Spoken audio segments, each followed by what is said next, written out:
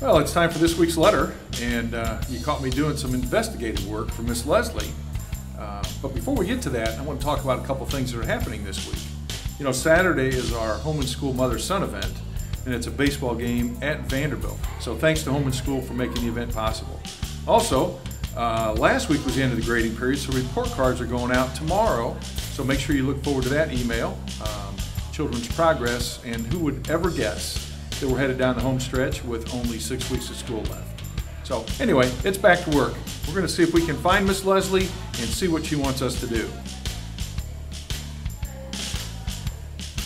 Oh, there you are. I'm here. Miss Leslie, how can I help you? I need you to do some investigative work for me, and I'm I on need it. to find out what this math mania is all about.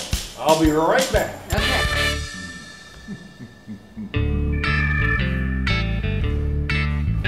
Why, Miss Hackett? Hello, Good Mr. morning. Sabo. I'm detecting some clues here that there might be a math camp coming up. There is. This summer we have Math Mania, which is a problem solving and critical thinking camp. So we are going to have a lot of math mysteries that students are going to be solving using games and interactive um, activities. Well, it looks quite interesting. So this is going to be one of the games that the students are going to be playing. And they're going to have these tiles down here. And they have to figure out where these tiles belong. And they have to have all correct answers. So whatever they can come up with, this number has to equal this one number, and this number, and this number, and this number. So they have to use all of their math skills to solve this mystery. So there's a little critical thinking involved in A here as well. A lot of critical thinking. Excellent. It sounds like a good camp. Is it full? It is not full, so please sign up. It's It is time. August 10th, the week of August. Well, that sounds good. I look forward to seeing the solution to these problems.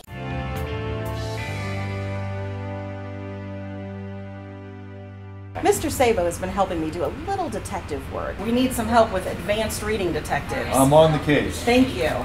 So he's looking for Christina. She's going to tell you a little bit more about the Advanced Reading Detectives camp that I'm leading. Um, this is going to take place a couple of the weeks, um, so look at your schedule. This is only for the advanced kids, so rising 5th through 8th. We're going to do a little more exploration with detecting, but uh, I think we're going to find Christina to tell you a little bit more. Christina! Hi, we've been looking for you. we need you to tell us a little bit more about Advanced Reading Detectives. So basically, reading detectives is about finding characters and examining them and finding their motives. And I personally like this one, this camp, because I want to be a lawyer when I grow up, so they have the basics and I know what to do. So sign up today. Listen to Christina. She's experienced. Oh no, I really need help. Uh, looks like someone needs a SOAR refresher. Yeah. Yeah.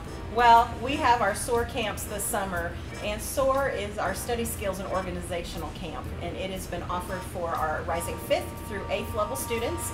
A lot of our 6th through 8th level students have already taken it, like Max here, but we also have the SOAR refresher, which is just to refresh some of those organizational strategies.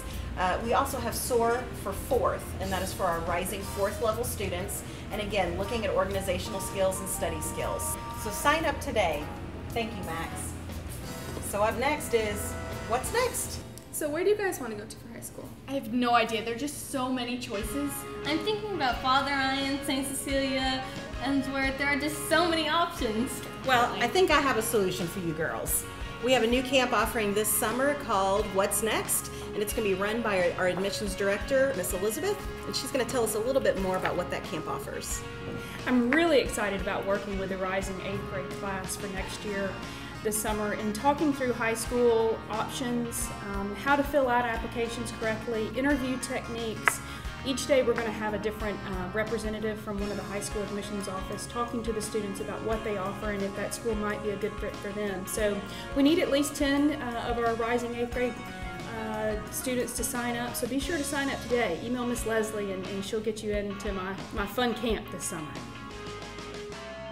Starting to find some clues around campus for the upcoming Art and Music Festival that'll be held in conjunction with our Earth Day celebration. Now the date is April 22nd.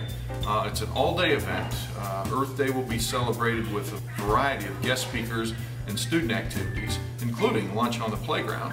Thanks, Mr. Dan. Uh, but we'll also have the kickoff of our art and music festival once school dismisses at 3 o'clock. So come one, come all, be a part of the fun, be a part of the celebration.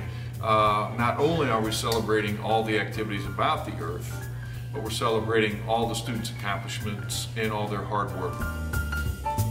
Well, that just about wraps it up. Have a great weekend, and as always, go Bears. Bears?